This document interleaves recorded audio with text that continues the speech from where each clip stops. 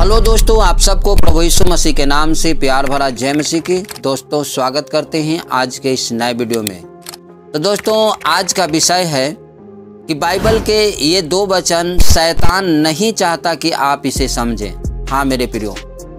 आज जो मैं दो वचन आपको बीच में दूंगा शैतान कभी नहीं चाहता है कि ये दो वचन को आप समझ पाए और ये दो वचन को आप हमेशा याद रखें जैसे कि प्रियो बाइबल के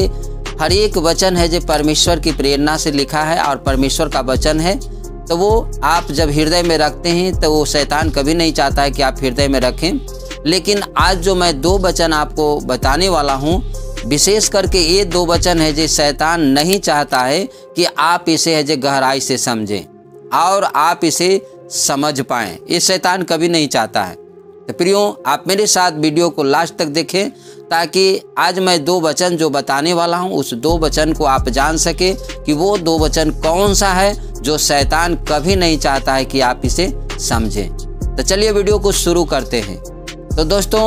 रोमियो आठ अध्याय के अड़तीस और उनचालीस आयत को हम देखते हैं वचन बताती है क्योंकि मैं निश्चय जानता हूँ कि न मृत्यु न जीवन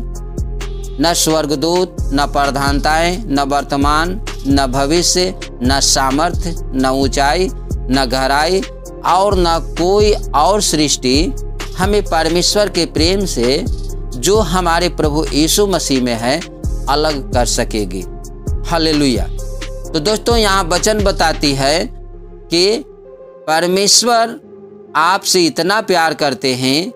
परमेश्वर आपसे इतना प्रेम रखते हैं कि आपको मृत्यु और न स्वर्गदूत न प्रधानताएँ न वर्तमान न भविष्य न सामर्थ्य न ऊंचाई न गहराई और न कोई सृष्टि के कोई भी ऐसा चीज़ है जो आपको परमेश्वर के प्रेम से अलग कर सकता है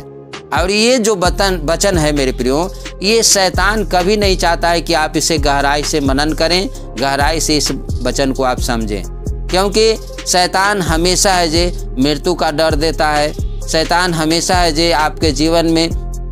नाना प्रकार के प्रॉब्लम और परेशानी को सामने ला के खड़ा करके दिखाता है कि देखो ये परेशानी से तुम बाहर नहीं निकल सकते हो शैतान हमेशा चाहता है कि आप परमेश्वर के प्रेम से अलग हो सके लेकिन बाइबल वचन यहाँ बताती है कि ये सारी परेशानी ये सारे चीज़ है जो आपको परमेश्वर के प्रेम से अलग नहीं कर सकता है क्योंकि परमेश्वर इन सारी चीज़ों से बढ़ करके है सारी चीज़ों से ऊपर है जैसा कि प्रियो हम आप सब जानते हैं कि परमेश्वर प्रेम करने वाला है और परमेश्वर इतना प्रेम करते हैं कि उस उन्होंने अपने इकलौता पुत्र यीशु मसीह को दे करके हम सबको बीच में वो साबित किया कि अपने पुत्र से भी बढ़ करके इस जगत से प्यार करते हैं जैसा कि यूना तीन का सोलह कहता है कि परमेश्वर ने जगत से ऐसा प्रेम रखा उसने अपने इकलौता पुत्र को दे दिया ताकि जो कोई उस पर विश्वास करे वो नाश न हो परंतु अनंत जीवन को पाए तो प्रियो दोस्तों परमेश्वर हम सब से प्यार करते हैं आपसे प्यार करते हैं और आपके लिए हमेशा जो परमेश्वर चिंता करते हैं लेकिन शैतान ये है जे मृत्यु का डर और नाना प्रकार के परेशानी का डर है जे आपको दे देता है और दे करके आपके अंदर परमेश्वर के प्रेम से अलग करना चाहता है वो इस बातों को कभी आपको समझने देना नहीं चाहता है कि परमेश्वर आपसे इस सारी चीज़ों से बढ़ के प्रेम करते हैं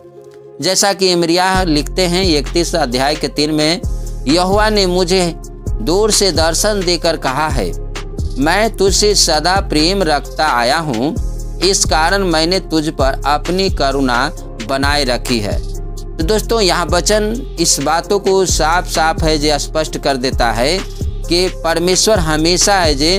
हम आपको है जे नज़र रखने वाला परमेश्वर है हम आपको ऊपर देखने वाला परमेश्वर है और हम आप पर हमेशा है जे करुणा बनाए रखने वाला है और परमेश्वर हमेशा हम आपको चाहता है कि हमेशा है हम आप जीवन की ओर बढ़ें उस अनंत काल के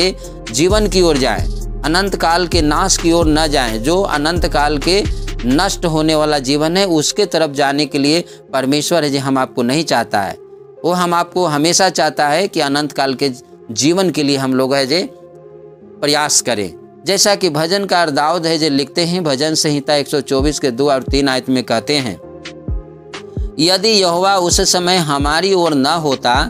तब मनुष्यों ने हम पर चढ़ाई की तो वे हमको उसी समय जीवित निगल जाते जब उनका क्रोध हम पर भड़का था तो दोस्तों यहाँ पे दाऊद है जो स्पष्ट इस बातों को कह रहे हैं कि अगर परमेश्वर हमारी ओर नहीं रहते तो जो हमारा जो शत्रु था वो हम पर जिस समय चढ़ाई किया था उसी समय हमें जीवित है जो वो निगल जाता और उसका जो क्रोध हम पर भड़का था तो वो हमें नाश कर देता वो हमें छोड़ता नहीं लेकिन वो कहते हैं कि हमारी ओर यहुआ है हमारे तरफ से परमेश्वर है और हमारे तरफ से जब परमेश्वर है तो इन सारी चीज़ों से वो बचाने वाला है जैसा कि छः आयत में कहते हैं धन्य है यहुआ जिसने हमको उनके दांतों तले जाने न दिया हालेलुया तो दोस्तों यहाँ पे स्पष्ट दाऊद इस बातों को बताना चाहते हैं कि जिनके तरफ से धन्य है यहुआ परमेश्वर पिता उनके तरफ से है जो सुरक्षा है परमेश्वर हमेशा है जो उन सारे चीज़ों से शत्रुओं से और सारे प्रकार के उस बैरियों से बचाने वाला परमेश्वर है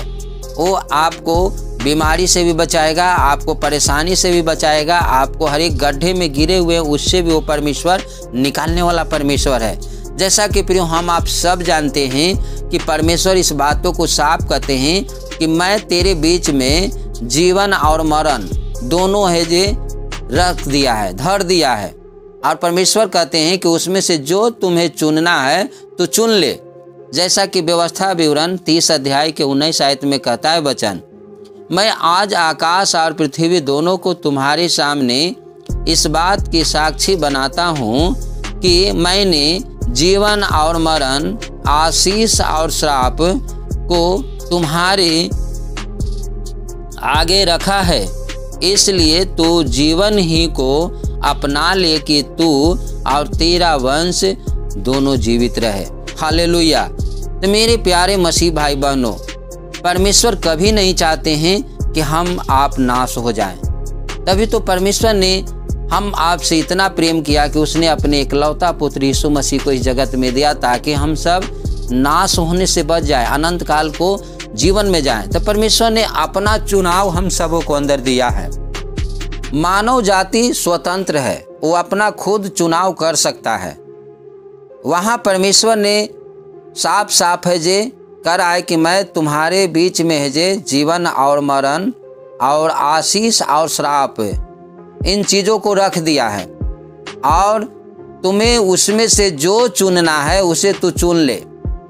तुम्हारे आगे धर दिया है ताज प्रियो हम आपके बीच में है जे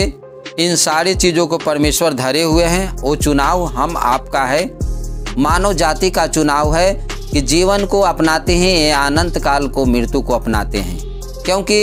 आज हम सबों को प्रभु ने एक ऐसा मार्ग दिया है जो अनंत काल के जीवन की ओर ले जाता है और वो मार्ग यीशु मसीह है और एक ऐसा मार्ग है जो अनंत काल के नाश की ओर ले जाता है और वो मार्ग है शैतान है जो हमेशा अजय मानव को अजय बहला करके फुसला करके भटका करके डरा करके वो हमेशा चाहता है कि परमेश्वर के प्रेम से अलग करें परमेश्वर के प्रेम इसके बीच में आने ना देता कि ये परमेश्वर का प्रेम को समझ सके तो दोस्तों आज मैं जो दो वचन आप सबों को बीच में बताया जैसा कि रोमियो में आठ अध्याय अड़तीस और उनचालीस आयत कहता है कि परमेश्वर के प्रेम से मृत्यु अलग नहीं कर सकता है न कोई प्रधानताएं न वर्तमान न भविष्य न कोई सामर्थ्य न ऊंचाई न गहराई और इतना तक कहता है कि सृष्टि के कोई भी है जो चीज़ है जो हमें परमेश्वर के प्रेम से अलग नहीं कर सकता है तो दोस्तों जब आपको डर लगे तो आप इन वचनों को है जो हमेशा अध्ययन करें और इन वचनों को समझने का प्रयास करें कि परमेश्वर आपसे क्या कहना चाहते हैं परमेश्वर आपसे यही बताना चाहते हैं कि अगर आप मर भी जाते हैं फिर भी आप परमेश्वर के प्रेम से आप अलग नहीं हैं परमेश्वर आपको हमेशा ऐजे कहा है कि मैं तुम्हें अनंत काल के लिए जीवन में ले जाऊंगा तो प्रभु हमेशा ले जाएंगे इसलिए मरने से न डरें कोई परेशानी से न डरें किसी चीज़ को आप है जे अपने आगे प्रॉब्लम से न डरें हमेशा है जे प्रभु में बने रहें और हमेशा प्रभु यीशु मसीह पर विश्वास रखते हुए उनके वचन और उनके शिक्षा में आगे को बढ़ते जाएं और परमेश्वर ने कहा है कि मैं तुम्हें अनाथ नहीं छोड़ूंगा मैं तुम्हें अब अजय अपने हाथों से तुम्हें कोई मेरे हाथों से छीन नहीं सकता है तो प्रियो विश्वास करें क्योंकि परमेश्वर है जो इन सारे चीज़ों से बड़ा है इन सारों चीज़ों से ऊपर है और परमेश्वर हमेशा चाहते हैं कि हम आप उन चीज़ों से समस्याओं से ना भागें समस्याओं से प्रभु में बने रहें और लड़ना सीखें क्योंकि परमेश्वर उन सारी चीज़ों से बचाने वाला है जैसा कि दाऊद कहते हैं कि अगर यहोवा हमारी ओर से न होता तो हमें शत्रु है जो हमें निगल जाते जीवित ही निगल जाते लेकिन यहुआ हमारी ओर से है धन्य है परमेश्वर यहुआ जो हमारी ओर से है जो उन सारे चीज़ों से हमें वो बचाया तो प्रियो परमेश्वर आज हम सब को है जे अपना चुनाव करने का निर्णय करने का हम सब के ऊपर छोड़ दिए हैं आज़ाद कर दिए हैं स्वतंत्र कर दिए हैं और हम आपके बीच में वो दो बातें रखे हैं जीवन और मरण हम आपको चुनाव करना है कि क्या हम अनंत काल के जीवन में जाएं या अनंत काल के मरण में जाएं क्योंकि हम आपके बीच में धर दिए और चुनना हम लोगों को है उस रास्ता को हम आपको अपनाना है तो दोस्तों मैं आशा करता हूँ कि ये छोटी वीडियो से आप आशीषमय हुए हैं